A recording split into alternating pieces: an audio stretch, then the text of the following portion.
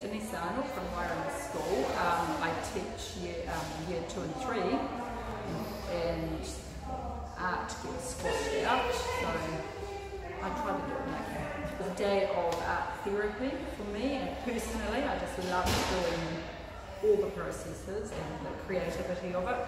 Um, it was motivating, and it was also just a reminder of stuff I know, but just you know, it's motivating me to go back and do it again.